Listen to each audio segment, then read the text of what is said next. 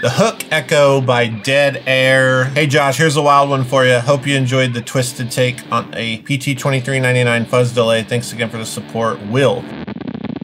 Distress all the way up.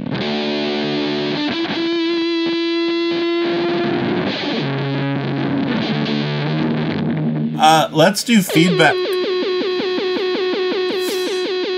PT uh, 2399 is a type of chip that was manufactured and invented and primarily used in karaoke machines in the 90s. So when you were holding that plastic mic singing Spice Girls and you heard that beautiful uh, bathroom shower tub sound, it was an echo made for that.